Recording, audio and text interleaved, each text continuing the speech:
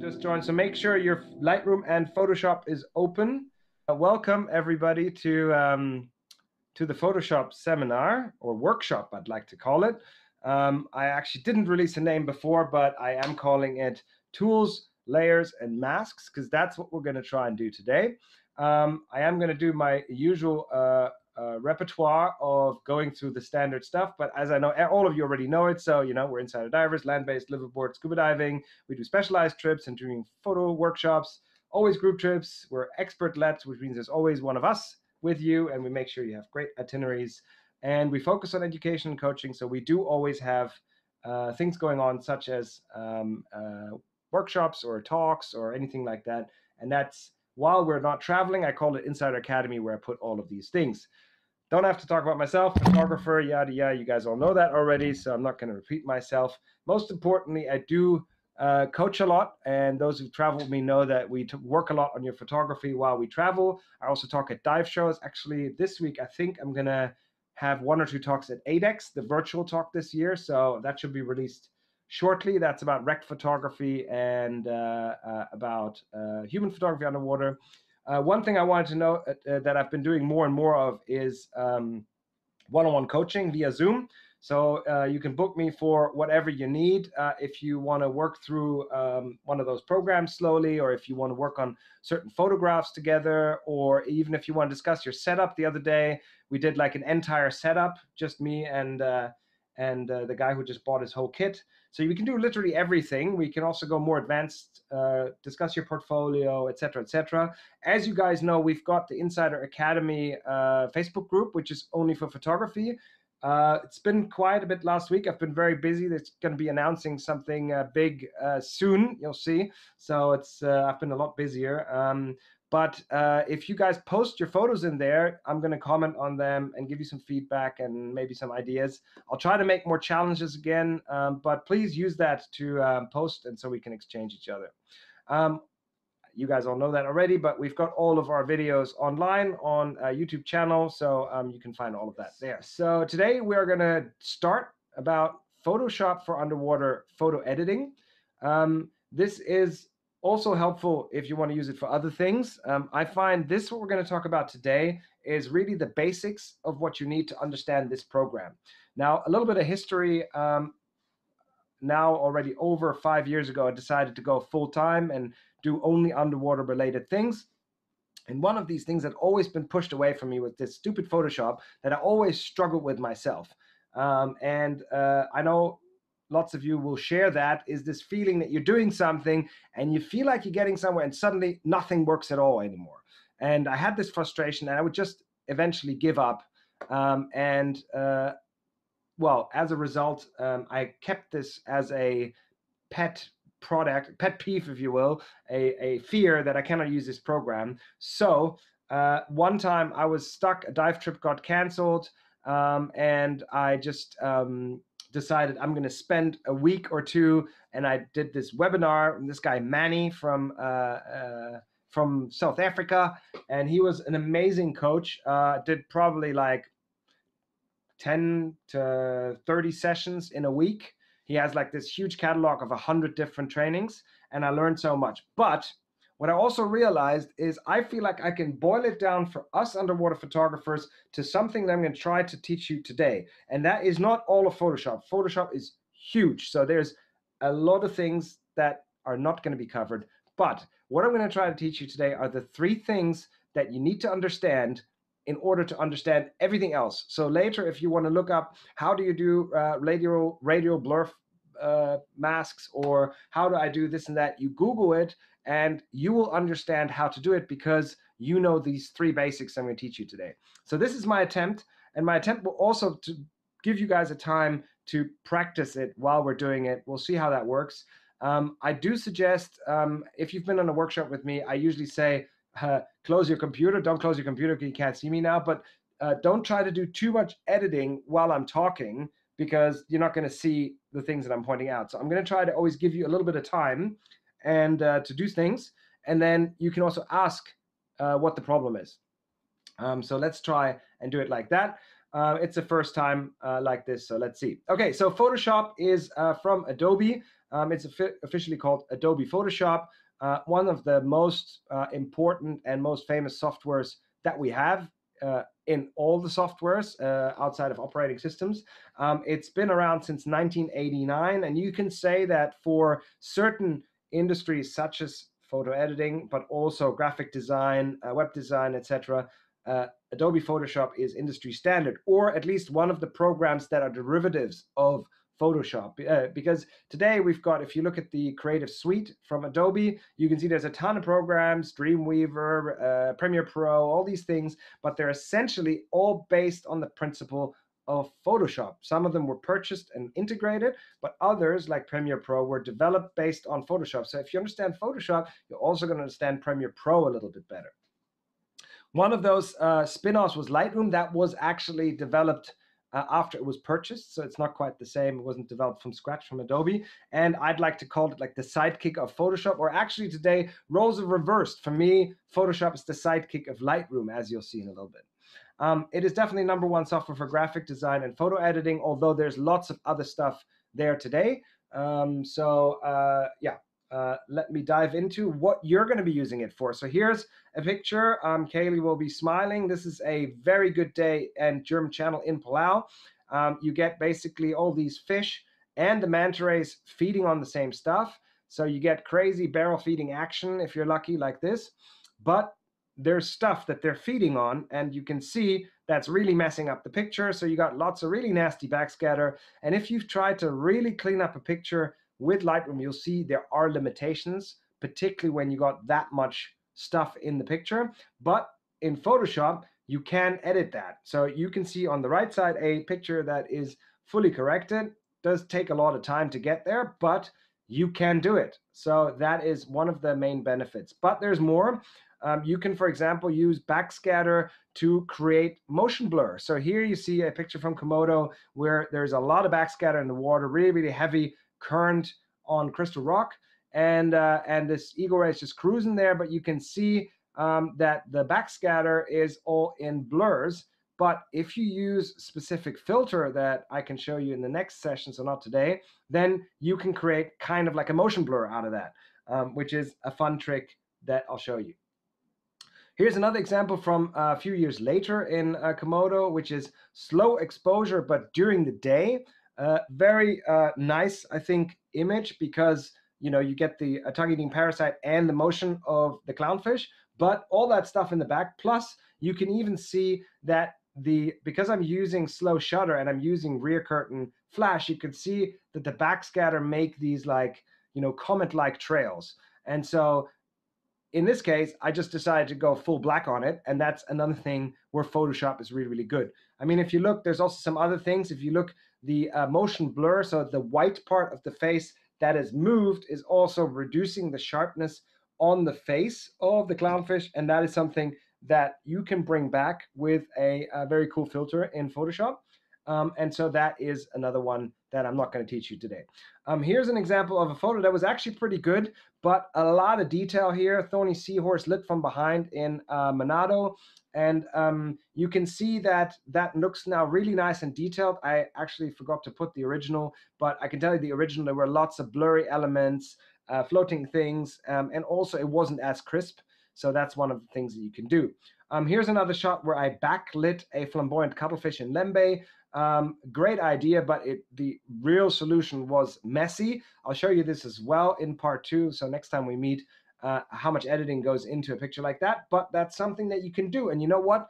Um, sometimes I feel that Photoshop is a way to expand on your photography because you're creating art. You know, if you're an artist, you're painting on a canvas, you're also creating things that are not there. And so why not do that with photos? Some people don't like it. I think it's just another discipline of, of this hobby that we have. So why not? Here's an, another example of sort of an inverted black and white, um, uh, which is again something you need to do in Photoshop. And this is one of the uh, latest uh, crazes. Yeah, these uh, very simple to do actually once you know how to do it. Um, uh, and uh, and I tried it with um, a frogfish. So let's see if we do that in part two, or if there's going to be a part three, then we might do it then. But these are like special effects that you can do in Photoshop. also, if you want to do like infograms, so here is uh, a mimic octopus, the first mimic octopus I ever found, and I felt like it did sort of a, you know how they mimic other animals, and here I felt like it was mimicking uh, one of these spearing mantis shrimps, and so I wanted to make a post and I made this floating image. That's also something that you can do in Photoshop very easily. As a matter of fact, all of these uh, uh, uh, channel designs that I make for all the videos when I upload them. They're all, or the posters uh, that, that put on Facebook, etc. That's all made in Photoshop. You can use other programs, but because I just got used to Photoshop so much, I find it actually pretty easy to use. So um, uh, this is something where Photoshop is also useful for. Okay, a couple of the basics. I already said that most used editing tool in the world. Anything is possible. It, there is an amazing amount of tools. I sometimes really wonder how these guys come up with all these tools. Like, how do they know what artists might want to be doing with those in the future?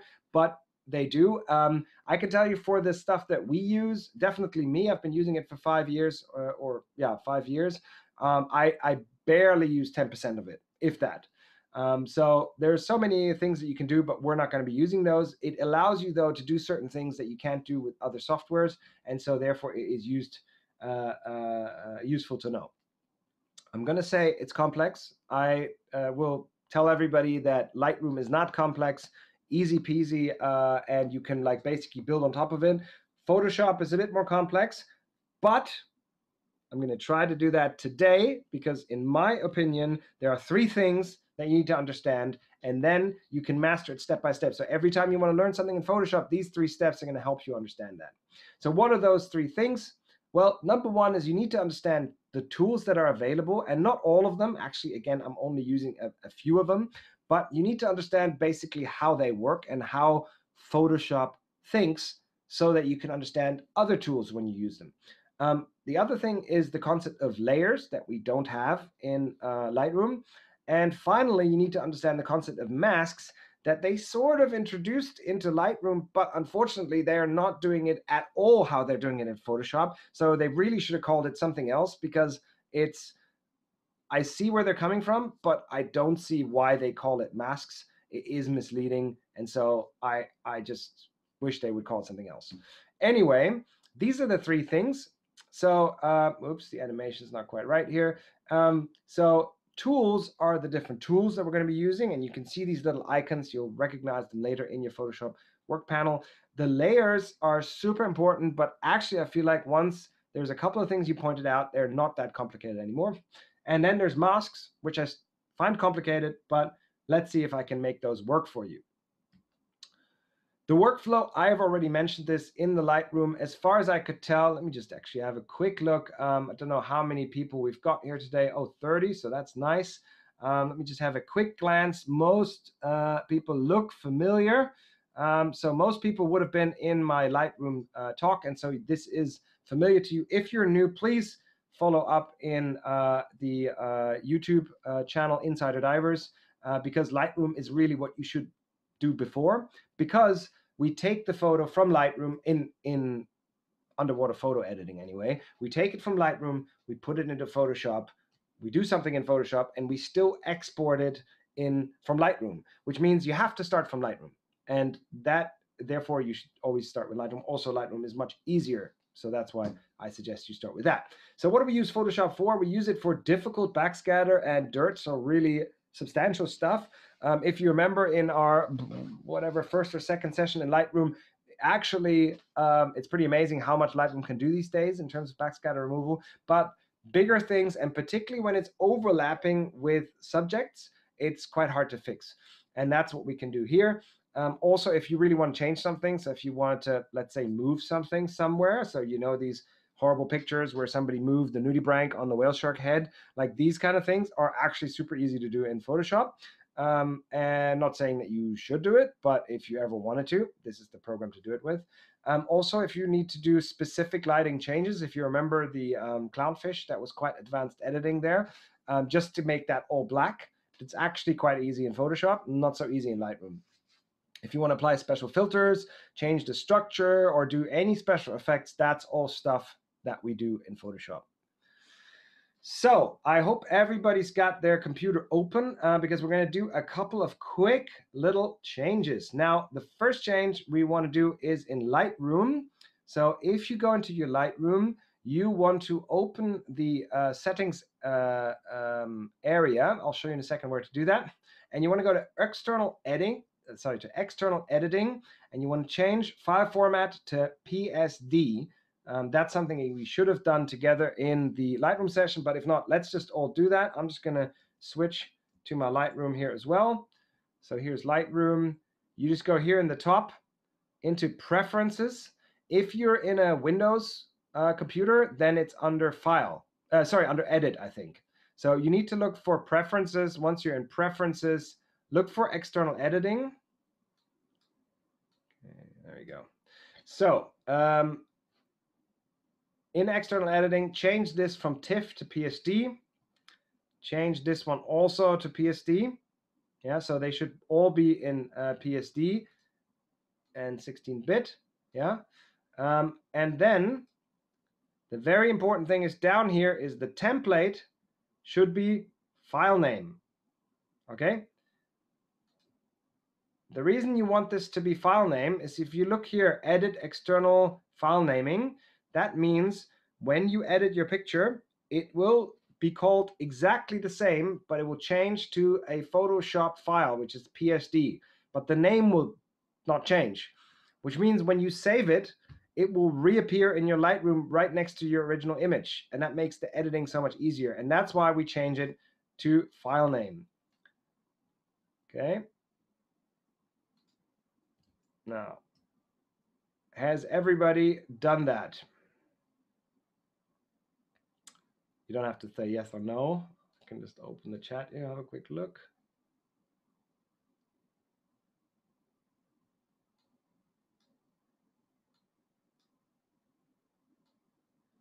Okay, I'm just going to assume that you guys all got that.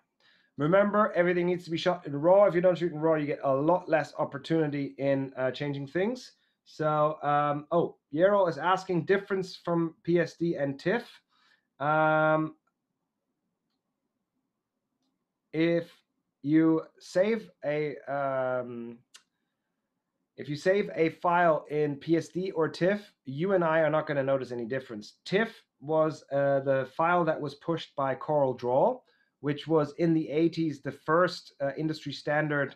Um, you might remember it from your first Windows. There was Corel Draw in there, um, and uh, that was TIFF. Um, and I'll show you in a moment what PSD does to your files, but um, TIFF is even worse. So the files are even bigger. And if we're using Photoshop, we're staying in the Adobe world. Why not just use, uh, you know, the the tools or the uh, file formats that they suggest? So um, as far as I understand, there is no real difference for photo editing, except that the size is a lot smaller. Okay. All right. So um, I'm not going to go through this raw thing because we talked about this before. But here is now how we would open. Um, uh, you can see how old this slide is. It's Adobe Photoshop 2015. Um, so the way we open a picture, and would be my suggestion, is to open it from Lightroom and open it then into Photoshop. So let me just show you how I'm doing that. So I'm in Lightroom. And let's just say I'm going to take this photo here. Okay, I've already applied a couple of edits. You can see very limited, but I've done a few. Now you right mouse click. And you go to edit in. Now it's Photoshop 2020, five years later. And now it will take a bit of rattling until the file is opened in Photoshop. And what's happening now is it is being opened in Photoshop and convert it into a Photoshop file. And that's what all the working is taking place. So you can see here, it is saying reading camera raw format, which I'll tell you in a moment. And now you can see the picture is here in Photoshop. Okay, so um, guys, I am going to uh, I am going to hope that you guys uh, are just gonna use your audio when uh, I'm going too fast. So I'm just going to assume that you guys are with me until now. So that is how we do it from Lightroom. There is also the way to open it directly into Photoshop. Okay, and I just want to do that because it shows you what happens. Because what you will see is it will open it in Camera Raw. This is the import uh, program that uh, traditionally was used to import raw files, digital raw files, into Adobe Photoshop. Um, so if you're going into your Finder, um, this is a photo I took in Hong Kong this weekend from the giant octopus. So here, if I do right mouse click, open with, now if I open it in Photoshop, same thing happens. It says reading the raw file, and you can see it opens this thing, which is called Camera Raw. And Camera Raw is this, uh, you can already recognize it's kind of similar. It's like an old Lightroom. And that's essentially what Lightroom was based on. You can see there's all these little edits. They now also have texture. So you could do a little bit of your um, editing uh, here. You can do your white balance, right? So you could do some of those things, your contrast. You can do quite a few things, right? And that's how you import it into Photoshop. Now, obviously, I'm going to tell you, we don't need to do this anymore because we have Lightroom and therefore we don't need to do this anymore, okay? But for the purpose of demonstration, I'm just going to show you how that works. And then you see now it says reading camera raw format, which is exactly the same as uh, we had earlier in when we opened it from Lightroom. Okay, so we have now done that. And um, what happens is we've got a raw file. So my raw files are, it's a full frame Nikon. So my raw files are 50 something megabytes large. And now, if you press save, or as I'm going to deplore you to do today, is to start using shortcuts. So if you press Command S or Control S, um, you will save, and it will save it as a PSD file. And you can see the same thing. Nothing has changed. It's exactly the same. You have the same uh, details of the photo still here. Yeah. It's now already 136 megabytes. And to answer your question, Yero, um, if you did this in TIFF, it would probably be already 200. So it's even larger. Yeah. Now, I haven't done anything on this file yet, and already it is three times the size. Now, I'm going to show you in a moment how to do this, but if I just copy a layer, I do nothing, no edits, no nothing, copy a layer and save it again, it's already 400 megabyte. And this is the problem of these programs is they create monster huge files because essentially they're looking at every individual pixel. And if you're putting a raw file in that has a lot of pixel, it creates super huge files. And that is just something that uh, you're going to have to deal with. So um, yes, Manjula, you see your 25 raw converts into 250 megabytes in TIFF, 10 times the size, whereas a PSD is only three times the size. That is why I do that. Um, Daria saying opens in Photoshop as a black square from Lightroom. Uh, not quite sure. Have you changed the export settings as I um, put them there earlier? Otherwise, just try to open it from your Finder or your Explorer if you're on Windows and just uh, do right mouse click open with and use Photoshop. See if it uh, does that. Um, color space, uh, Roman, I have already said this before. I'm not that um, extreme about these. I usually just go with the uh, uh, RGBs, so the Adobe RGBs um, because you don't want to use sRGB because that's already JPEG. So Adobe RGB is what I use, or you can use Adobe uh, the RGB 1998 or whatever that's called. I can't tell the difference, so don't ask me. Yeah. Um, with a PSD, you can see the thumb in your picture profile. Uh, yes, you can, but your computer has to be very fast. Right? The option for resolution 240. Okay. All right. You guys, you're going back now. So just leave that for a moment. Just open it from the Finder um, because uh, you're going to get the download anyway. Um, and I am going to explain everything. Um, so everybody, please stop doing what you're doing. now we come to a next segment that is very important. So I hope I've got your undivided attention. Here is the work panel. Yeah.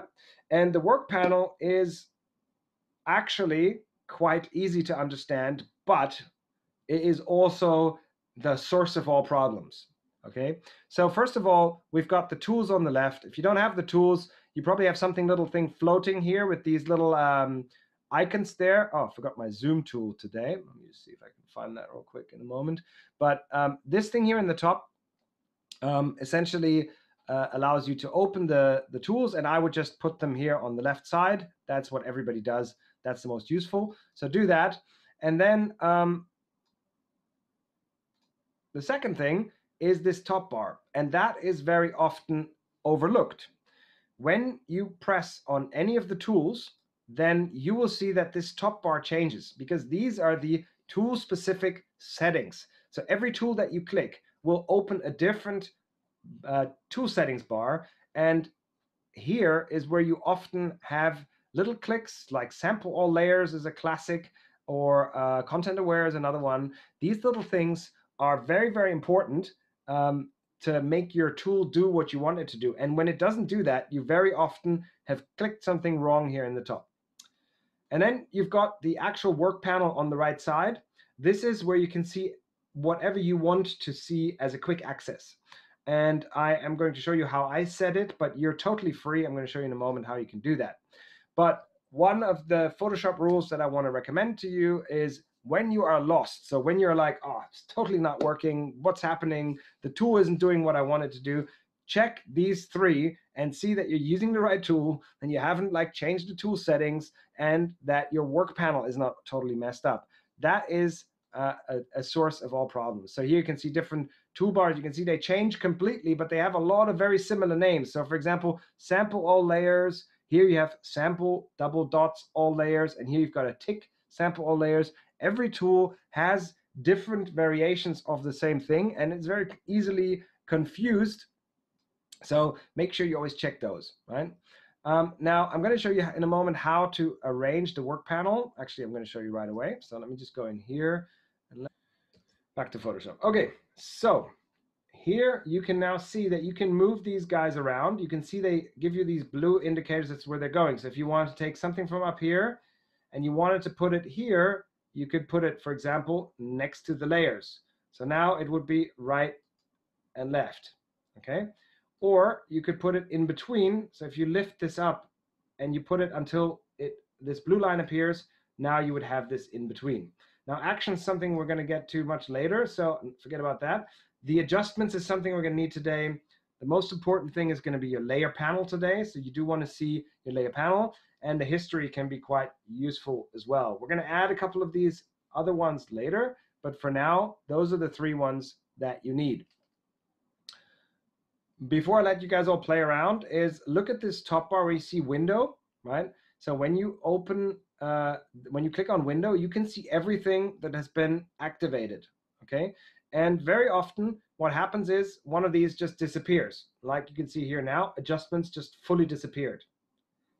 And then you're like, oh my God, where is it? If you can't find it, just go into window, go for adjustments, and there you go, adjustments is back.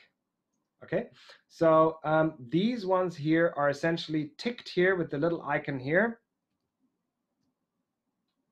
And you can see that uh, with a tick mark on, um, you can see that these ones appear here on the right.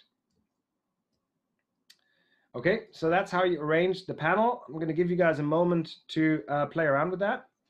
So you can see on my screen the ones, the three ones that I would like you to activate today, which is adjustments, history, and layers. And they will arrange themselves already on the right side. And then you can also save that.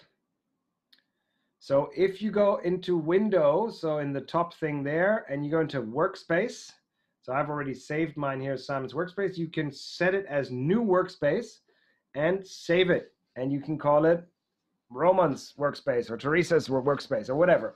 The advantage is if you mess it up, which you will, because that happens all the time, still happens to me sometimes, like, oh God, where did my tools go? Then you can just go back to that and load that one, and then it will be exactly how you left it. You could also make different ones where you have one for graphic design, or you have one for photo editing, or you even have one for underwater photo editing. So if you'd like, you can set that all up in that way. And now we're coming to a very important rule. And uh, you know, I've said this a lot and I mean it, particularly in Photoshop, you really need to start doing is, is shortcuts. Okay. Now I can only uh, recommend it and you guys need to decide if you're going to do it. I can tell you that uh, my wife is a lawyer and one of the smartest people that I know, but she cannot get used to using shortcuts. So she's using obviously Word documents all day long and she will not do Command C, Command V, as in Command Copy, Command uh, Paste, which is one of the most important uh, tools that you need in all of Windows. Actually, the guy who invented that is considered one of the most important inventions in terms of software usability. Now, the other one that is super important in Photoshop, much more important than Command C and Command V, is Command Z or Control Z if you're in Windows. Okay, undo. It's going to happen like all the time. You're like, oh my God, what have I done? And you have to do Command Z. Now, if some of you guys are still on a old Photoshop, so 2000, I think 18 or 19 is when they changed it. Command Z only did one step back and it would repeat that step forwards, on and off, on and off. And you would actually have to press Shift Command Z to change that. Okay. If you're doing that, then remember if you want to go more than one step back, you need to do Shift Command Z to go further back. But I will strongly recommend that you buy the Adobe Photoshop plan. And so your uh, system is always updated. The other one that's super important is Command S everybody please press Command S in your program. Make sure you're saving the file and then your computer will tell you if, for example, you have no space to save, which I find happens surprisingly often if somebody has only whatever 100 gigabyte on their small old laptop, then very often you can't even save one single file. In that case, Photoshop will also not run smooth. So um, might as well just uh, try that right now just to have a look if there's any questions in the um, chat. No, there isn't. Okay. So I'm to show you something that I'm not using, but I just want to show it to you. Um, so actually, uh, there's entire keyboards that are made only for Photoshop, or you can buy these stickers that actually have all the shortcuts as stickers for your keyboard panel. Um, also, you can download all kinds of PDFs. Essentially, uh, what I can say is I personally work with post-its. Okay, so when I start a new program, I write these down on little post-its and I post them right next to my computer. And that's how I try to get it into my brain because it's like learning a language or something like that. You just need to repeat, and after a while, it just goes into your brain. Sometimes I somebody asks me like, "What's the shortcut for blah blah blah?" and I just I have to do it.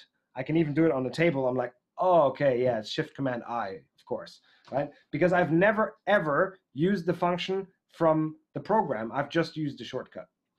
Long story short, you're going to have to start using shortcuts, whatever you want to do. You're not going to be using this program properly if you don't use shortcuts. Okay, before we go to the next step, are there any questions so far?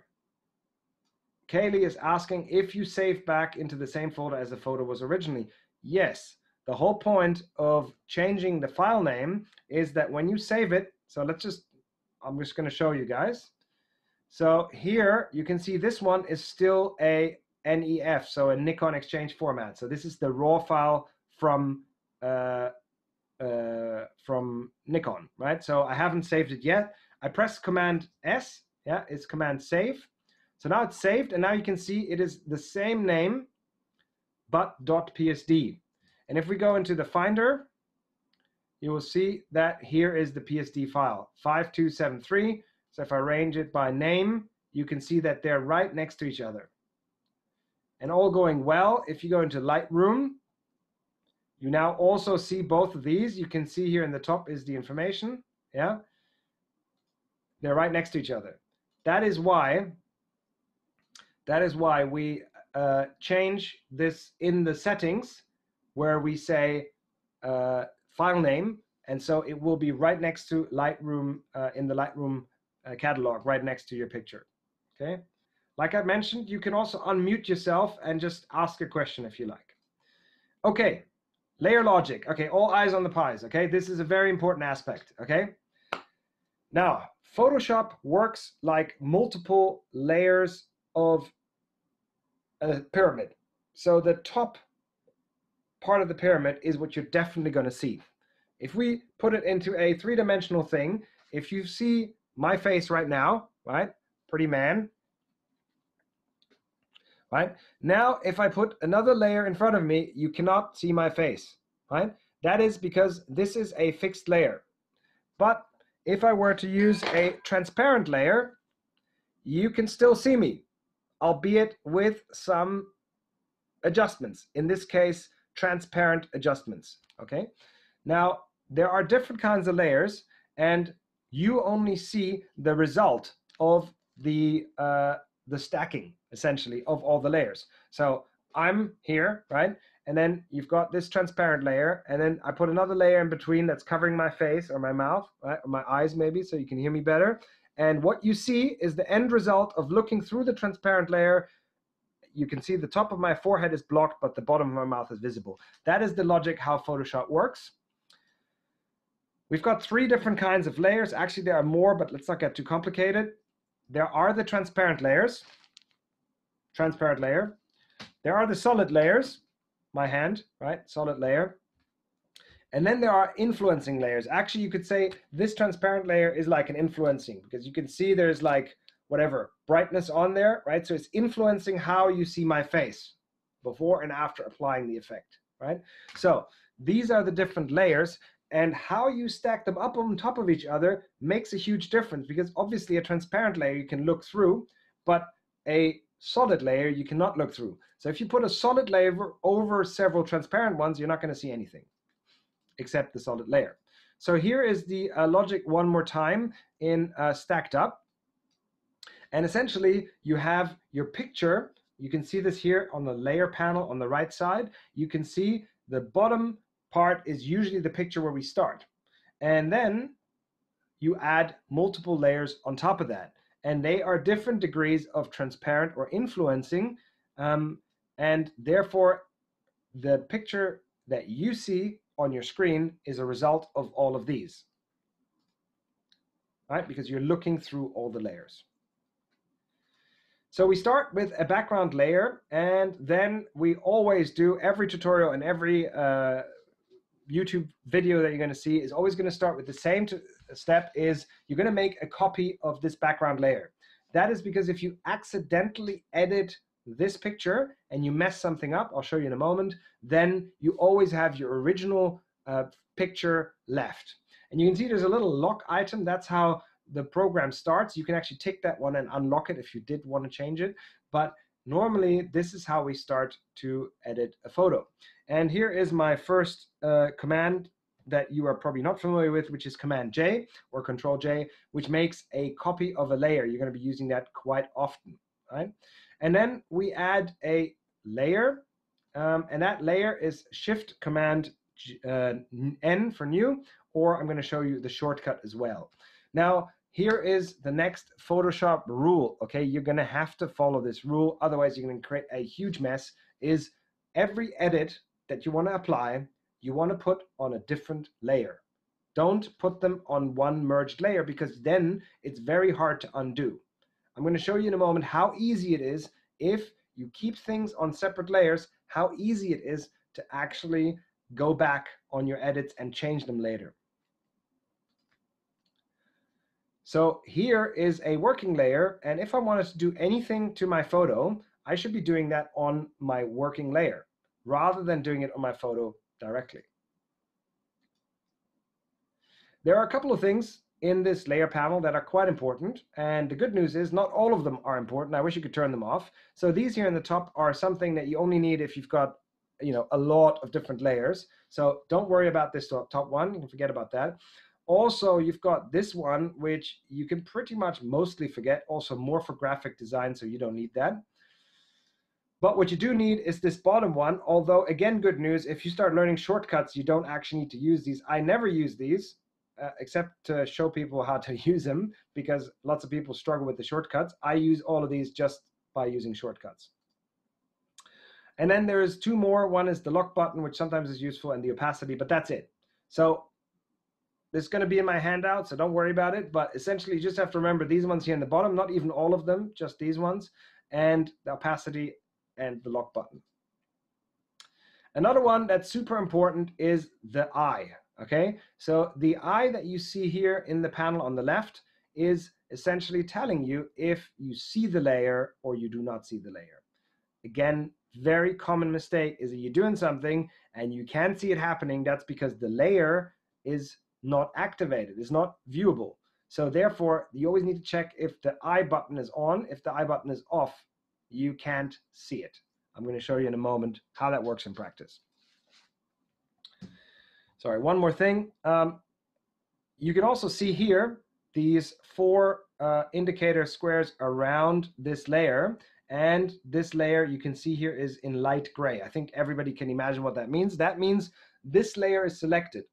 And this is again a very common problem that people have with Photoshop is you're editing and you're hacking on the thing and nothing is happening. That is because you probably didn't activate this layer and you're currently doing all the edits on some other layer. And so you can't actually see what's happening, but you're actually doing something. You just can't see it. I'm going to show you in a moment what that looks like.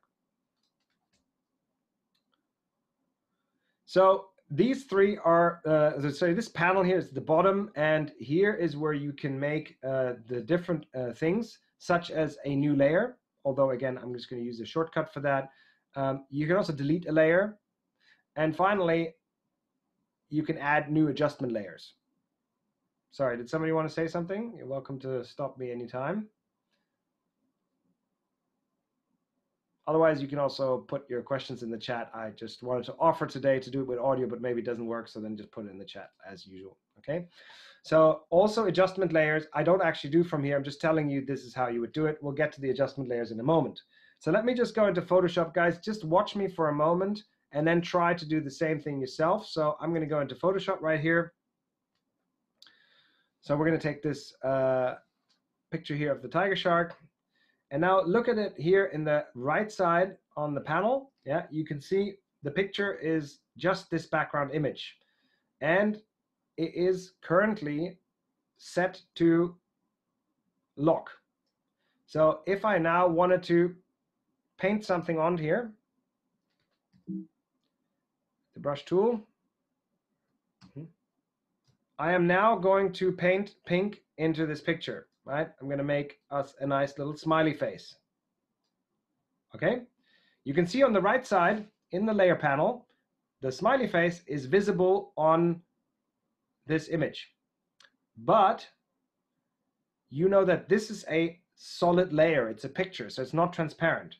So if I put this behind the other layer, oh, that's what I can't do because this is locked. If I put this behind the other layer, it disappears because these are two identical images, but I've changed only one layer. Okay, so that should show you what it means to have two solid layers that you can move around. Now, if I make this one invisible, okay, I'm clicking this eye icon, you can see that this layer is now invisible. It also says I can now not edit anymore. So my brush tool is not working anymore because this layer is actually not here. Let me just undo this. Okay, Command Z, Command Z, Command Z. But you can see here in the bottom is where we have the history.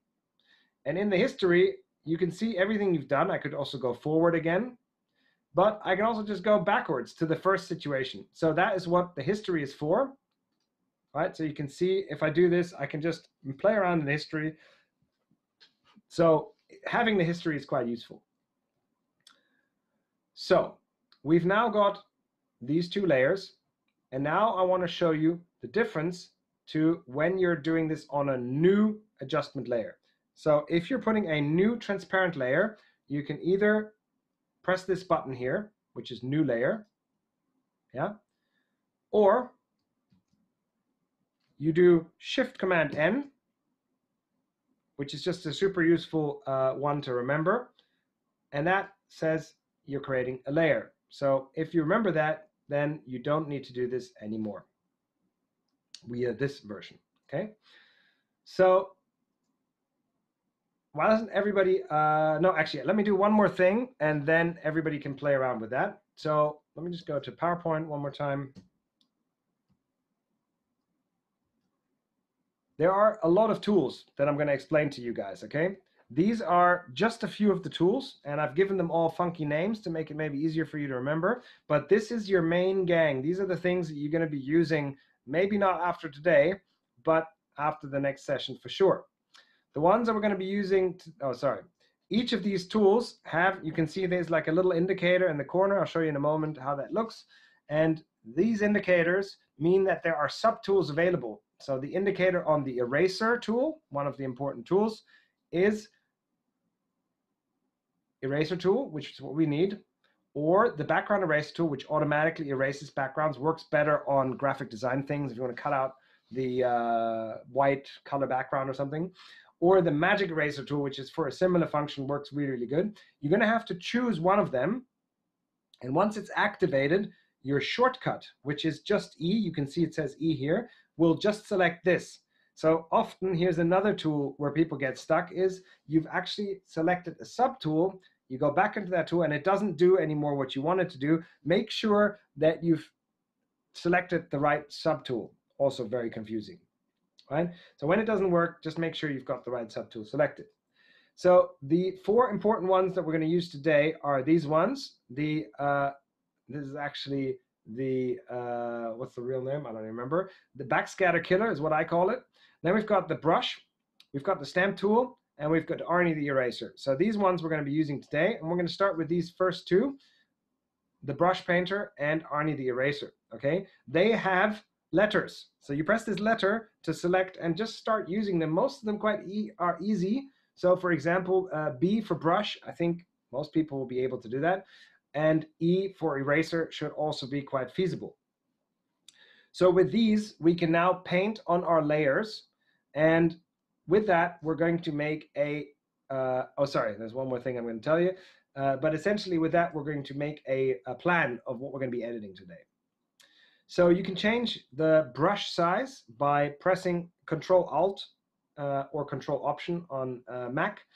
And when you press that, and then you uh, actually, is it right click? I think it's left mouse click. Um, you can actually drag right and left in order to make the outside a bit more fringy, yeah, or up and down to make it more solid, as in more strong. Right? I'll show you in a moment what that looks like. And you can change the color, which is in the bottom left. I'll show you as well how to do that. But just so you know, for photography, we need to keep those black and white, which you will see in the last section of today. So here's this photo I mentioned about. I call it the patient. Got lots of issues. And in a markup layer, we would mark everything that we want to change on this program. So let me show you how to do that, and then everybody can practice. So I've already created the layer. One more time, let me just show you how to do that. Shift Command N, yeah, or Shift Control N. Create a new layer. Now we've got a layer, and now we're going to press B for the brush tool. We're now in the brush tool. And you remember I said the little icon here in the corner will give us more options. So right mouse click on this one will also give us the pencil tool, the color replacement tool, and the mixer brush tool, all of which we don't really need. Uh, definitely not today, but generally I never use those. So you can just leave it in the brush tool. So when you press brush, so let's say I'm in a different tool, V is the selector tool, and now I press B, I'm going onto this tool. So no extra buttons needed. All you need to do is press one letter and it will select this tool. Bottom left here, you can see you can see the color. So currently we've got pink selected, so you can also just select any other color that you want. Yeah. You can also, when you go out of the picture, you can pipette. So here you can see the pipette. You can change the color to something that you see in the picture. Okay. So you could change it to anything you find in here, which is useful in graphic design, not so useful in um, uh, color uh, photo editing that we're doing today. Now I just want to pick something that is going to be visible. And I'm just going to start drawing into here. And oh, well, that's a bit too thick, right? So if I press Control Option, right and left changes the size of our brush. Okay, so you can practice with that in a moment. Again, Control Option. In Windows, it is also Control Option actually. You press these two, you go right, left, you get this, and you go up, down, and you get this feathering, they call that, which is how soft the outside is, right? So if you do this, you get something like that. So there's a halo outside. And if you do a fully hard one, then you get something like that, okay? It is totally irrelevant because with photo editing, we're not gonna be using it in this form anyway, but I just wanted to show you how this tool works. Now you can see that I'm currently here on our new layer. Now, if I wanted to change that, I can call that the markup layer. You just click on it, change the name. This is our markup layer. And I can now, I'm going to make this smaller. I'm now going to point out the things that we're going to correct. We're going to take care of these. Also, this shadow I want to take care of later. We might try and take this whole thing out. And maybe we'll try to fix the bubbles. Not sure we're going to get to that today, which are over the tail, right? Now, have a look, guys. I've marked this all up, but if I click the eye icon, it's all gone again, right? So you can see it disappears and it goes. What would happen if I would move this between layer one and two? Well, you're all smart kids, so that's why you're gonna know. If I put this here in between, it disappears. Why? Because layer one is a solid layer. So I cannot see what is edited because the solid layer will cover anything. So if I move this back in front, it is visible again. Huge advantage of doing this in a separate layer. If I now activate Arnie the Eraser with E, you remember E is Arnie the Eraser, now you can already see Arnie the Eraser doesn't look like I want it to look. That's because I selected the Magic uh, Eraser tool. So I'm just going to use the normal eraser tool. You remember, you can see here selected Magic Eraser tool. So I used that somewhere for some graphic design. So I'm just going to select Eraser tool. And I can now see that it's erasing. So if I go over here, nothing is happening. Why is nothing happening? Well, okay, asking questions into the group doesn't seem to be working, so I'm just going to answer the question myself. When something's not working and you've checked that here the subtool is the correct one, which I've already done, right? It's the correct one. Then you need to look into your top bar. And there's something wrong in the top bar. So let's see what it is. We can see that, okay, zoom panel is in the way we can see that we've got smoothing activated that we don't want, right? And we can also see that flow rate is activated, which we don't want, and the opacity is activated. All of these are variations of brighten, lightening the eraser function. Now, when I go here, you can see it's now fully erasing this. But you can see it's still a faded approach, right? Now, if I do the same thing as I did before, Control, Option, and Brush, you can see that it's feathered. So if I'm going to drag up, down, sorry, then it's going to be solid. And now when I edit, you can see it's a clean, solid edit. Yeah, you can see now it's a clean, solid edit. Whereas when I feather it, it's not. And you will see later how we can use that to fine tune some of our adjustments. Okay, obviously I just wanted to show you guys how that works. By the way, if you want to zoom in and out, you can press Option or Alt and scroll wheel, yeah? Or um, you can do it also on the mouse pad. Now, if I wanted to undo all these eraser actions, I just go in my history panel, click on that one, and I'm back to where I was before. Okay, so I'm going to look at questions, but everybody please try to add, make a copy of your um, of your base picture. So make a, uh, with Command J, a copy of that layer. And then with Shift Command N, create a new layer. Then select brush. And with the brush, just draw all over it. Sorry, what we got to do? I got as far as opening a picture and copying it, and now I've forgotten.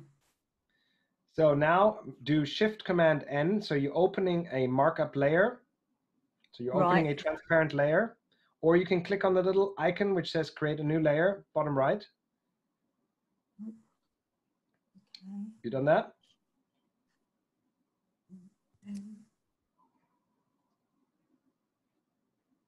Right, that didn't work. Do you have a little uh, transparent layer there? No, I haven't. I've got a background and layer one. So No, shift, now just Shift Command N, um, Shift shift Control N. alt. so- No, not Oh, Alt. Uh, you're on Windows, Shift- so it should be Control Shift N. Ah, Yeah. right, okay. Mark up there. and press mark OK. up There. And now you should have a transparent layer. Yep, correct? got that. All right, Mhm. press B. Hmm. B. Just B. Ah, yeah, Should got have- it, got it. And now you should be able to draw on that transparent layer. Is that happening? Yeah. So how do you increase it by this shortcut, please? Control Alt. Alt. Press both of those. And then click the left mouse button and just drag right and left. You can also change it in the top left. So if you want to do it manual, like I said, I'm always doing it with shortcuts. But you can see in the top left, if you look on your top bar where you have all your tool settings, there is a little um, thing that has a number and the size of your circle. You can also change the size in here. So size, yeah, you can change the size in here. But I find it so much better when you do it with that shortcut because you can actually see how big the circle is going to be.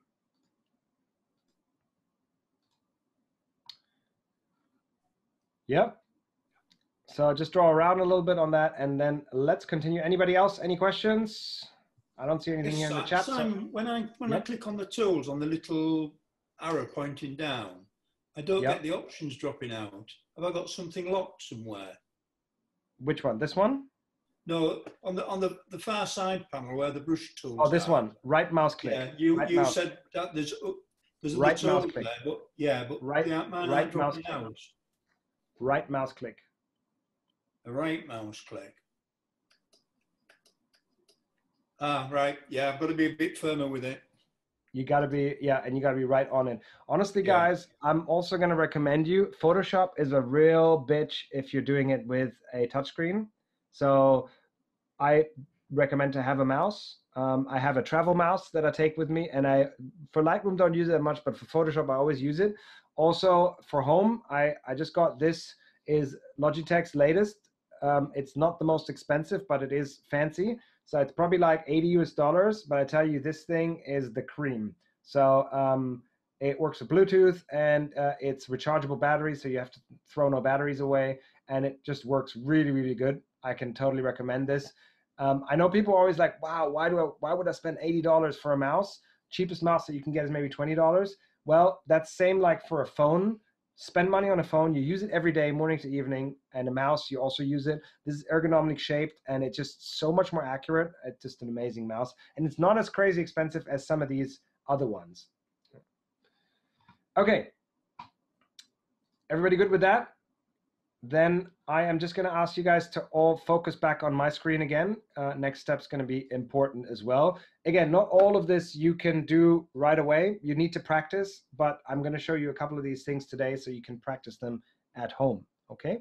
Um, so I'm just going to continue. I'm going to go back to my PowerPoint.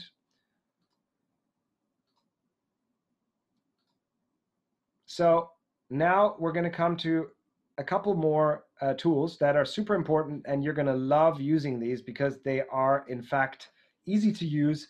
They're better than Lightroom, more options than Lightroom, and the good news is they're also faster than in Lightroom. Whereas Lightroom is quite slow if you've got a slow computer. Um, Photoshop's actually a bit faster on that. That is because you already converted it into a PSD file. Mhm.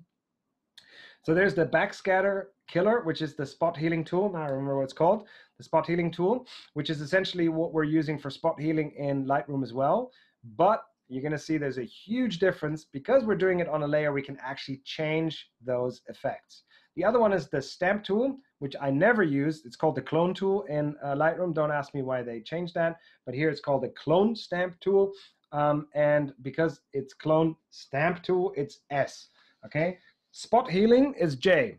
That's probably because there's too many things with S. So you're just gonna have to remember that that is J and you're gonna be using it a lot. So you might as well remember using it, okay?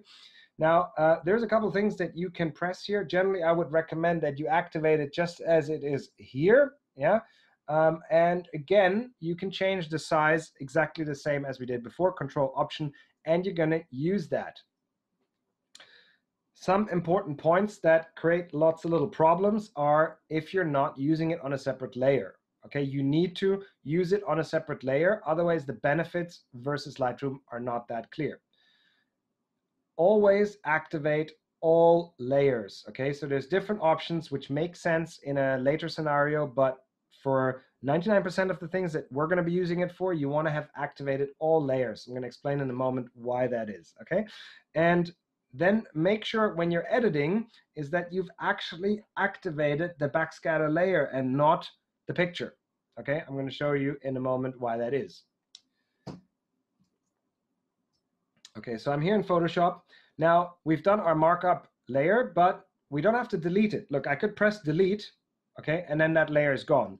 But instead, I can just make it invisible, and so it's gone, and I can just leave it there. And later I can go and look, oh, what did I want to edit? Oh, right, uh, these are the things I wanted to edit. Okay, fine. So now if I just do the same thing, I'm just going to create a new layer, okay? And you can see this layer is now activated. I'm going to uh, press J for spot healing tool. You can see it's now activated here. It's the spot healing tool. And I'm going to use it just like we've used it in Lightroom to get rid of backscatter. So change the size, same like the before, using Control Option size. And you can see if I just click on things, they will just disappear. Same like in Lightroom, I can either do singular click like these, and I can even just keep going much faster than I can do in Lightroom. And if it's taking some time to catch up, you can just press them all. But I can also click left mouse button and drag it over something. And as long as I bake it in entirely, it should work. Yeah, so it's now gonna work a little bit and then it's gone. Okay, folks, now watch out. Big difference to Lightroom. So you can see, this looks pretty good, right? You can see here on the right side that this is now all on a separate layer. So if I, for example, would make this layer invisible, all of that is back again. Yeah. So uh, for example, if you spent a long day and you've done a lot of these little edits and you've been clicking and clicking for hours trying to get all the backscatter away because you really want to submit this picture without all these nasty things, right? And you're just like, oh my God, how long have I been doing this? Well, I can tell you one thing that's really motivating is if you just say, oh, that's what I was doing. You just click it on and off and you just see what you've been doing, okay? But I want to show you something else here. So I've now done this in this layer. If I now press E for Arnie the Eraser, and I just erase something on this panel here, you can see I'm actually, I can actually bring just this one singular thing back. Why is it doing that so slow?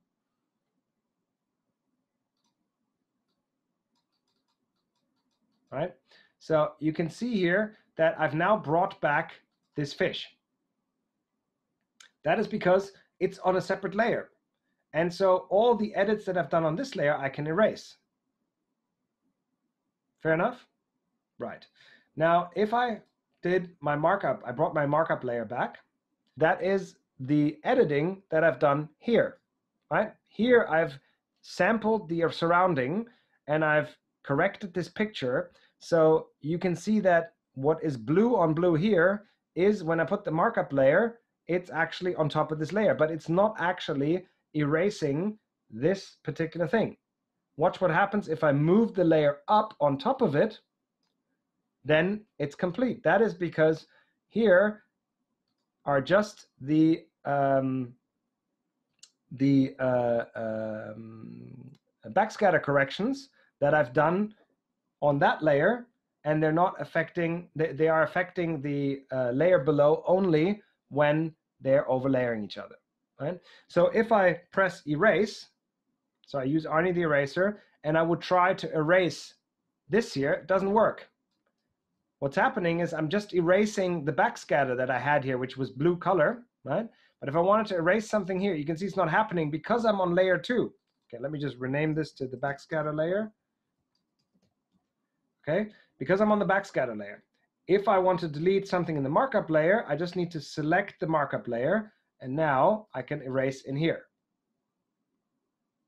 Does that make sense? I hope it does. I know you guys can, can't answer. But essentially, this is how you edit on different layers. Okay, so I've done a little bullshit here. I'm just going to correct that. Okay, so this is J.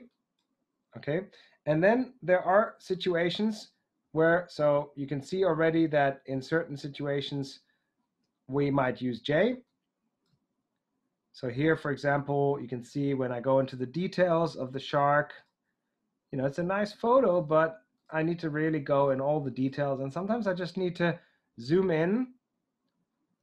And it's very good because it's all digitalized now. It doesn't take this long in Photoshop because every pixel has been loaded into this Photoshop file. So it doesn't take this much time. I can now tick each one of them and separately delete them all. Okay. Even something like this, I can do. Let me take a bit more extreme example. So you see here, this here, if I do this, is not going to work because it's taking a sample from all the colors around. It's going to make a very horrible looking picture. You see there's like a smudge. Instead, I can use the stamp tool. Okay, so the stamp tool, if you press S for the stamp tool, reduce the size. The stamp tool is taking a source. If you press Alt or Option, it actually gives you this little target icon. And with this little target icon, you're defining the source. So where do you want the sample to be taken from? In this case, I want to get rid of this shadow that's created by the fish that's in front of it. So I could just take the white color from here. So I press the source, right? So I decide this is where I want. And when I do my first click, that defines the distance between the source and where I'm going to apply it. So if I'm going to click this here, you can see it's now taken these little three dots. You see the little three dots there, right? But if I go one step further, it will actually continue. So it will, the, the source you can see will move along.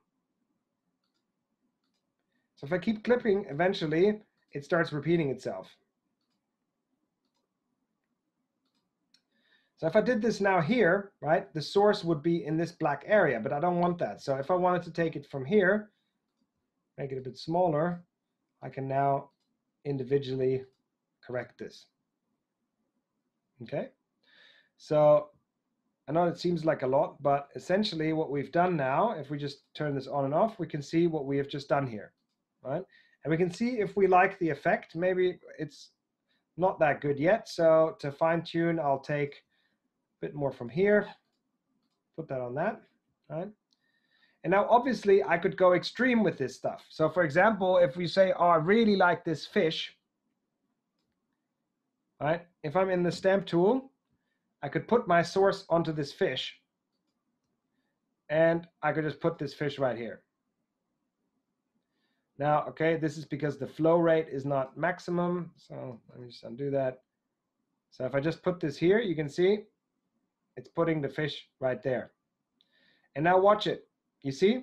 Because the distance is always the same. So once I set the target, where I put my first click is the distance to the source point. So if I move around, you can see if I'm here, the fish is now, this is the same distance.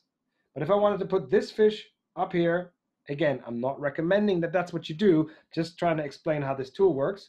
So if I put my source onto the fish and put my first click up here, then that fish goes up there. Okay, so this is how Stamp Tool works and how uh, um, the J works, which I always forget what the name is, Spot Healing Tool works. Okay, so before we go to the next part, I would like everybody to practice. I'm going to look at questions, no questions. Seems to be very easy, everything. Uh, Gotham's having problems with the mouse or a phone. Okay, once again, guys, put it into a separate layer. So you want to create a layer, not the markup layer. You make the markup layer invisible. Then create a new layer, Shift Command N. You can click on the name and call it backscatter if you like. Then you press J. Okay. And then you just mark over certain things. Just going to delete these silly fish because obviously we never want to do that. Fake fishing, that's not what we're going to do.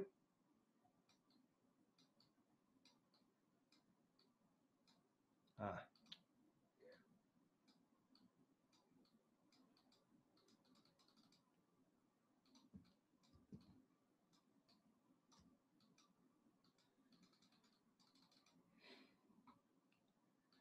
All right. Any questions on this? Otherwise, I'm going to go to the next fine tune. Is everybody giving it a go? Still almost everybody here. That's a good sign. No questions? Everybody practice the J and the stamp. I hope you can see what beautiful tools are possible here.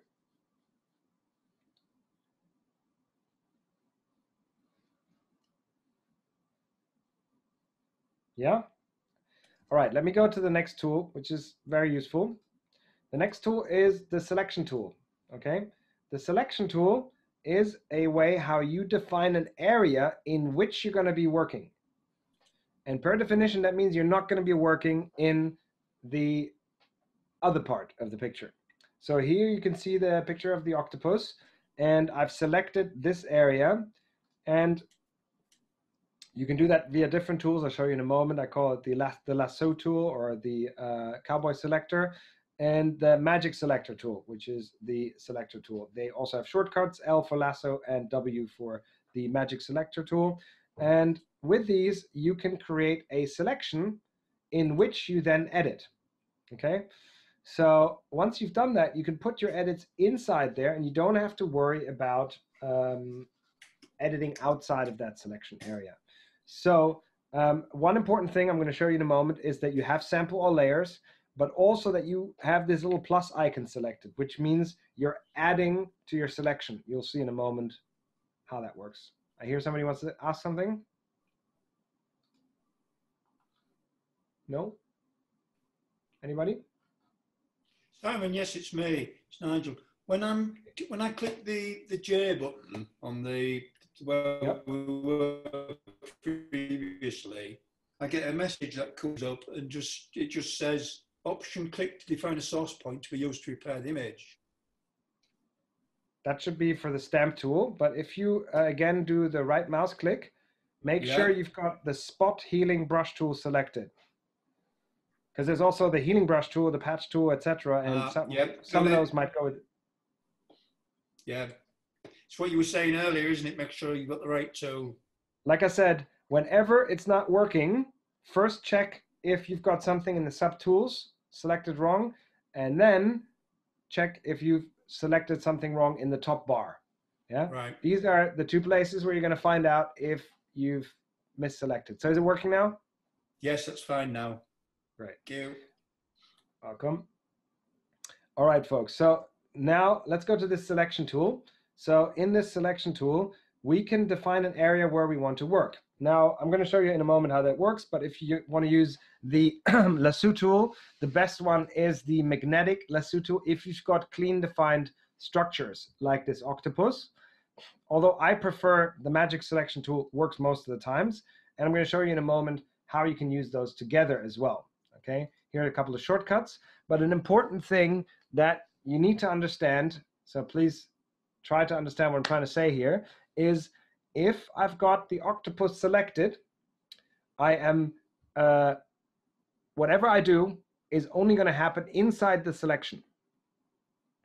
If I press invert the selection, which is Shift Command I or Shift Control I on Windows, then you're changing to selecting everything that is not the selection. So you're switching to selecting everything else. In that case, the same brush stroke will happen outside of your selection. I'm better going to show you how that works. So I'm going to just use the magic selector tool. Let me just go a bit closer here on Mr. Tiger Shark. And you can see if I just go in here, it will select the form pretty well. Yeah. It actually does a little bit of calculating and you can see if it's something like this that's really well selected, then you can see that it adds quite well. Remember how I mentioned you need to have this plus tool selected? Plus tool means adding to the selection. So now if I press plus again, I can just actually click into this next area and it will automatically select this area, okay? Um, you wanna have sample all layers because if you don't press sample all layers, then you're only gonna do that inside this, in this case, the backscatter layer, and it won't select. So if I do this now, it won't look at the form, it will look at all the backscatter items. You see now it's selected all the backscatter items. That's why in this tool, it's super important that you have sample all layers. I'm just gonna undo that, go back to my previous selection. And now you can see that if I drag here, I could just select this whole shark. And now what would be the advantage of that? The advantage of that would be that if I'm now going to do an edit, for simplicity, folks, let me just go into the markup layer, yeah? Or let me just do another layer. Okay, so I'm just gonna do another layer.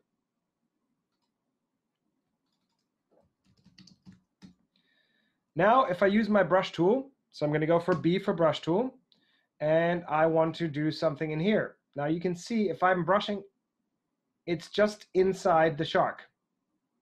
So if you ever want to know how people make these shark silhouettes, well, you know, this is how you do it. You mark it in there, and then you just draw something into it and done you've got the outside form of course that's nothing that's really useful for us right now but just so you know that's how you do it let me just zoom out so you can see this very very important shortcut okay is select the inverse so you can see currently the inside of the shark is selected so all my edits if I want to paint over the fish nothing is happening because it's only happening inside my selection. But if I press Shift Command I, I am selecting the inverse. Okay, you can see here in the in the history it's called select inverse, which means you're inverting your selections. You're selecting everything outside of the shark, and for those who paid attention, you can imagine what happens now if I use the brush. Now I'm painting outside of the shark. So this would be one way of, for example, making a pink picture with a shark in the middle. Okay, so, all right. So this is how we can edit inside or outside a certain area. So if I do Shift Command I again, I'm now back selecting the inside of the shark. Now what could that be useful for? That could be useful for if I want to, for example, um, do something that is just inside the shark area. Yeah. So uh, for example, if I wanted to do um, some more spot healing, yeah. So I'm using J for spot healing. I can now do this just inside the body here, and there's no risk that the blue on the outside of the shark will be affected. Okay, here, here's an extreme example. Not that I would suggest that you do that, but just imagine here. If you look here, if you look here, you can see that there's some, uh, you know, the uh, the shark has some parts missing in his dorsal fin, and you know, let's just say you wanted to change that. Not that I'm saying you should do that, but let's say you wanted to do that. Okay, then you could now just use your spot healing tool, and it would just heal on the inside. You see how these two parts are now healed? That is because they're just on the inside of the tool and therefore you can now just edit the inside of the tool just undoing this so you can see what we've done here we've just used the um, the uh, healing tool to just edit away these two little things that are missing that is because it's inside the selection so let me just undo that and now I'm going to press shift command I we're zoomed in so you can't see the difference but now it doesn't work anymore because only the stuff on the outside works. So now I could fix the backscatter that's on the outside, even if it's overlaying with the shark. I could, no, it's not a good example here. I wonder if, uh, Yeah, so for example, I'm going to do a, a different example here. So very important shortcut, guys. Sh uh, Command D or Control D is deselect. So that means you're starting a new selection. And let's say we want to approach these bubbles in here. Okay, we want to try and fix these bubbles. So first of all, we're going to go into selection tool and we're going to see if we can select this area. You can see despite the bubbles, it's doing a reasonable good job in selecting the the tail fin or the caudal fin. Yeah. And we've now selected all of this. Let me just do a little bit more of that. So we've got the shark selected. Okay. And now let's see what we could do here. Again, this is a quite extreme version, but I just want to show you what's possible. Okay, so we've selected the tail. Let's go up here. And you can see the bubbles here are inside the tail.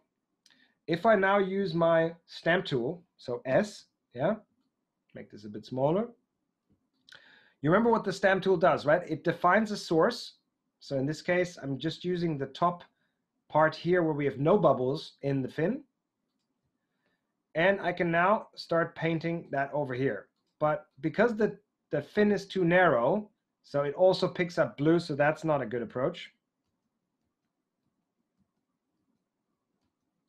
But I can just go a bit closer and do it from here.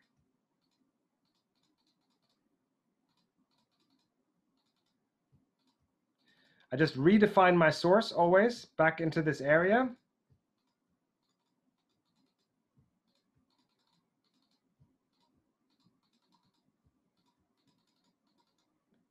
It's a bit of a quick and dirty, but if you look at it, you can see that I can get those bubbles sort of removed. We're going to have to do a lot more if we wanted to really do that. Let's, for example, do that here as a bit more realistic example, right? So I'm just going to zoom in onto this back. Okay, and we've got here a cleaner patch that's outside of the selection, but that doesn't matter, where we have the tiger stripes happening, right? And then here we've got the bubbles. So I'm just going to do a bigger selection. I'm going to source in this area. And now watch how we are just with this stamp tool copying it over this area.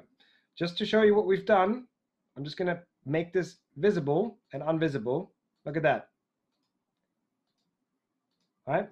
Let me just go a little bit more extremer so you can see what next we would be doing. So I've done it here now as well. Oops, that was a bit much. Right? And you can see it's staying on the inside because it's inside the selection. Yeah, and that means we only are editing inside the form that we have decided earlier. But big problem, we've actually now also deleted this remora, and that's not good, right?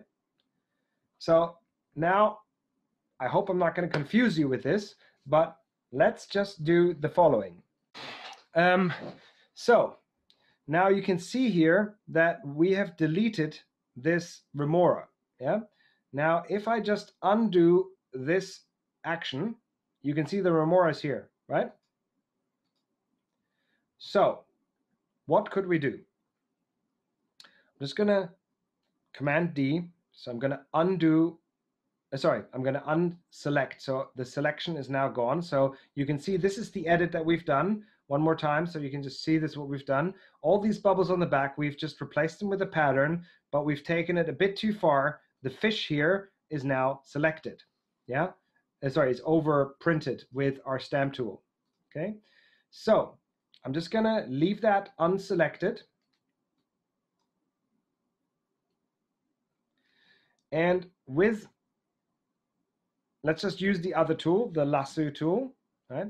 with this tool, you can see what it does is it will layer, it will try to find a pattern and it will layer itself along that pattern. If it doesn't do it, you just make a click and then it will start from there. You can see it is pretty good. You basically want to leave it on the outside of your form. You can see he's now done a mistake here. With delete, you always just go one step back and then you can try again. And but you just put it to the outside of the fish. Obviously, you can do this very fine. I'm just going to do this very quick. Just so you can see roughly how we would be doing this. Once you reconnect with the original, you just click on it, and now we've made a selection of the fish.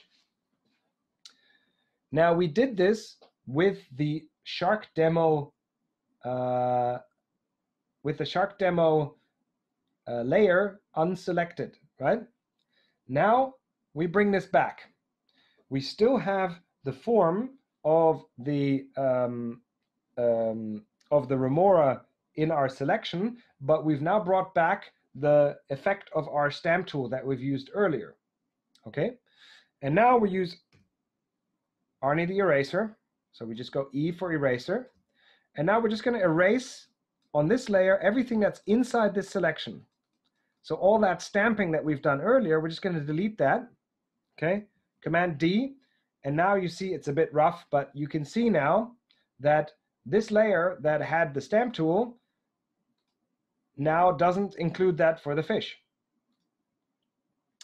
And this is where, you know, you can create quite a bit of magic. Obviously, these are pretty rough things. You're going to have to do this quite fine, but the beauty is that you can do it, right? I'm going to show you one more example. So here's the shark, right? And there's a another selection tool that we're not going to discuss in detail is P for, I think, pencil, pencil tool, pen tool, right? And here you can create shapes, okay? So I'm just going to show you an example. Let's say we want to make this shark fin complete. You could create a shape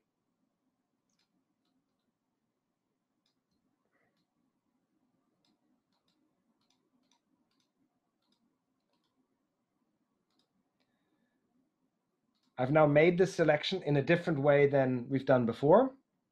And let's just say, oh, well, I did this a bit too quick to be careful where I'm taking my source from. Okay, should have planned this a bit better. Sorry, folks, but I mean, this anyway, something that we would never do. I just want to show you the possibilities of selection together with the stamp tool, right? And now you can see we've just made him a new shark fin. Obviously, that's not what we're going to be doing, but it can be useful for sometimes when you've accidentally cut something off. For example, a fish is on top of uh, your uh, subject, so we don't really have that here. But for example, in this one, we do have that. So let me just open this one in Photoshop. In the meanwhile, everybody can practice selecting something and putting something on the inside of the selection and outside. Can everybody try that? And let's just say we want to get rid of this handle thing, right?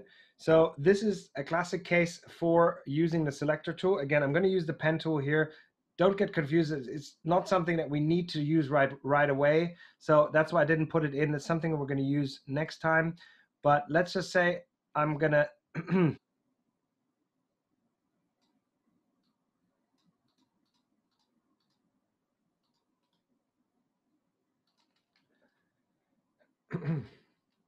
okay, so I've selected this, right? And now I could go in and try to get rid of this thing with the stamp tool.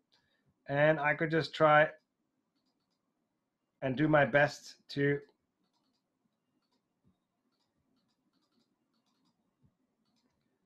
get rid of also the shadow. I could do some from this, some from this side.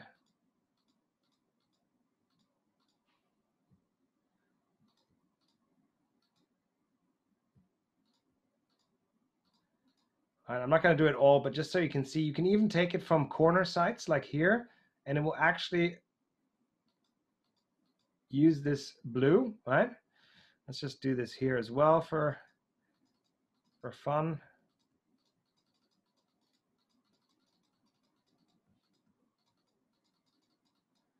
Okay, and you can see that Okay, it's a bit rough. Obviously, that still needs a little bit more work, right? So there's some smoothing we need to do, etc.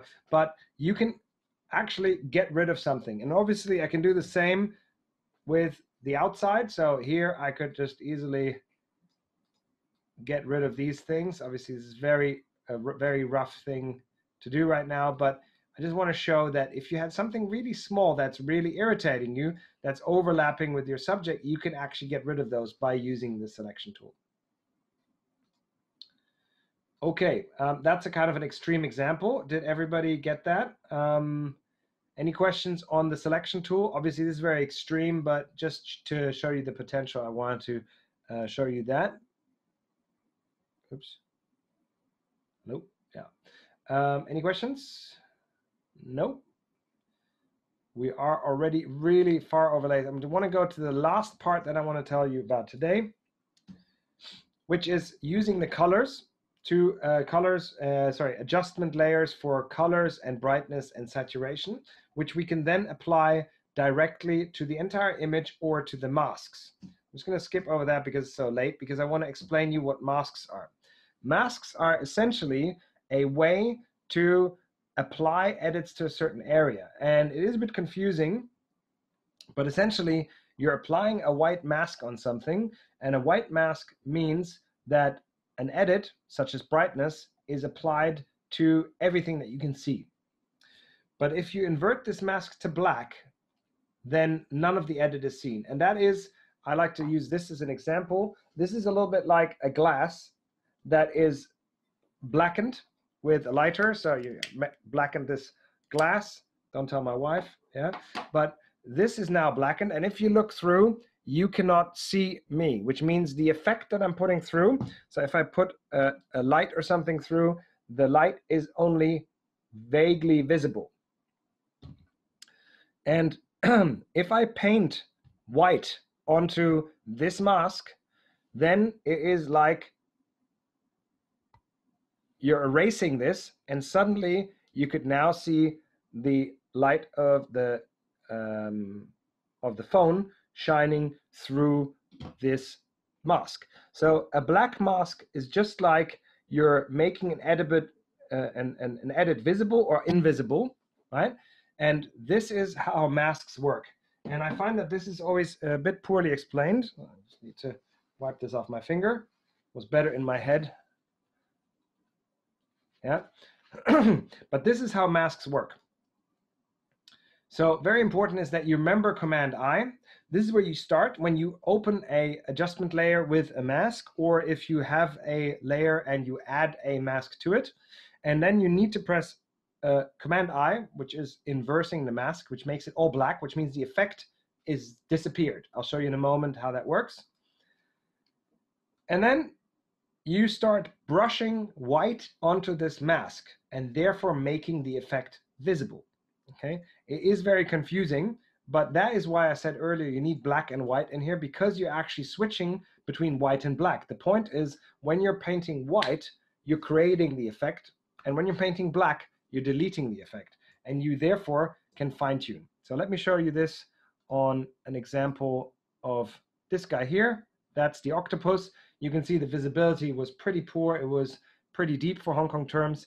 I'm just going to, and then we'll just copy that. So didn't do this correctly. So I'm going to do this. So let me just select this area here. So all the area that is with the uh, bad bokeh. If I want to fine tune that, I can press Alt, which means I'm now, I'm so you can see here in the top, if I press Alt, it goes to minus. That's same like in Lightroom. So if I wanted to reduce the selection, as in add, okay, taking a bit of time, then I can adjust that with the minus. So I've now selected this area.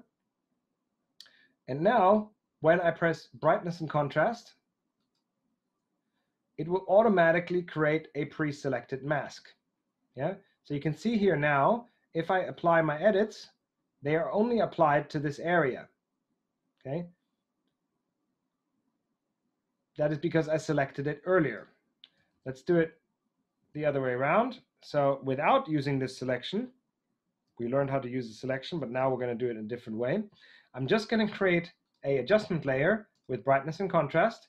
And I'm going to darken this, and it's the entire picture that's being darkened, right? You can see this, right? Now if I press Command I, you can see that the mask here is now black. You remember my finger and the glass, yeah, this is now all in black. Black means that none of the effect is visible. If I now go to my brush tool, yeah, the brush tool that we used earlier, this thing, and I make this maybe a little bit softer, and currently it is selected to black. If I press this little button, it's white. But again, you're going to use the shortcut, which is X. X switches between these two colors. That's why I said earlier it needs to be black and white. And now you can paint, and it looks like it's black, but it's actually just darkness. You can see. I'm just painting this where I want it to be.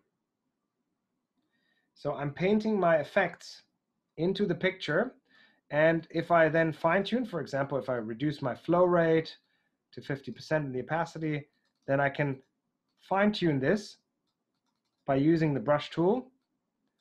And so it's not as hard as the selector tool, right?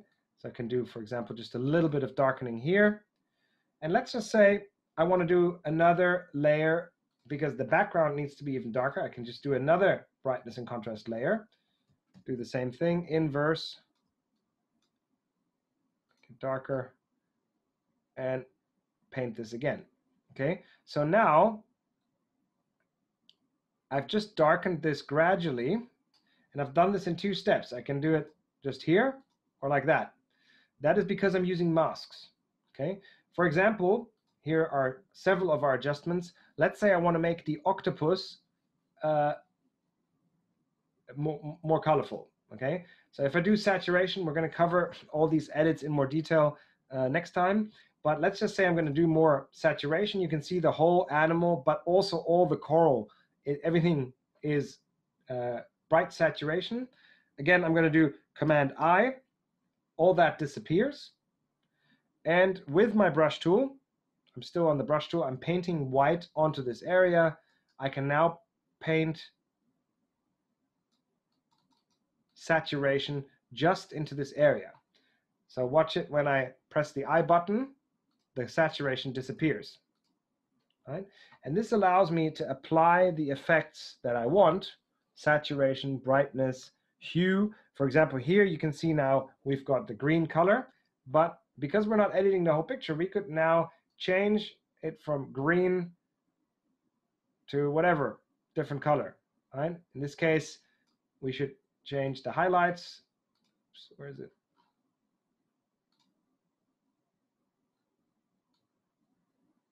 All right, I can do brightness. I can do just the yellows and just change the yellows. See, now you get more red octopus, etc. So you can play around with that and you can knock yourself out. For example, I could also do another layer. Let's say I'm going to do another adjustment layer on saturation where I want to desaturate everything else, where I want to make this less green, I just do less saturation on all of this. Again, invert the layer. And then with the brush tool, I can now just brush these lower saturation in the areas where I want to have less saturation. Okay. So this is all very rough, but obviously I just want to show you again what's possible. So these are a couple of the things that you can do with masks. And once you understand how to use masks, then you will be able to apply lots of the effects that Photoshop has on offer.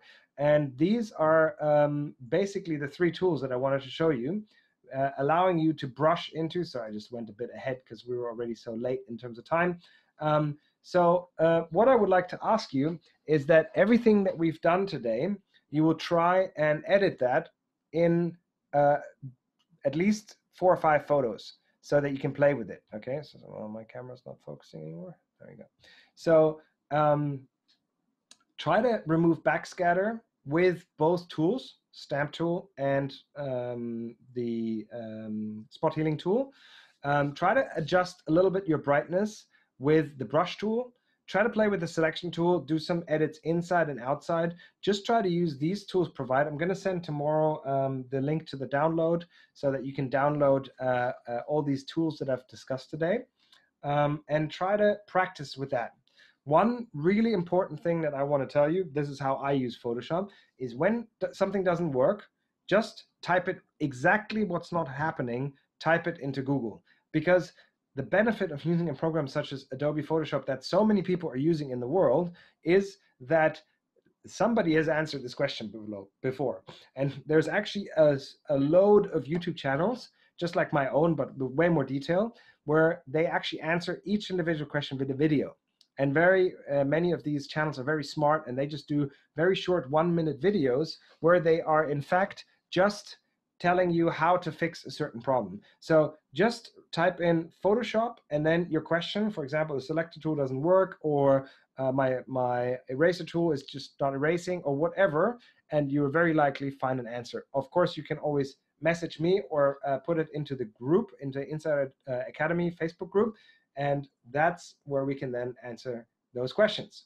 So I know that was a lot, uh, but before I take uh, your questions, I just wanted to point out we have a really cool talk this week uh, from a, a, professor of coral reef and fisheries, uh, Dr. Peter Houk. He's going to talk this week. We also have photographers coming up. I expect you guys all to attend when Alfred Minar is joining. Uh, Alfred Minar is famous for his photos, but also the way he edits his photos. Not sure how much he's going to let us know about his uh, his little tricks, how he makes the photos look so good. But definitely he's going to share some little tricks.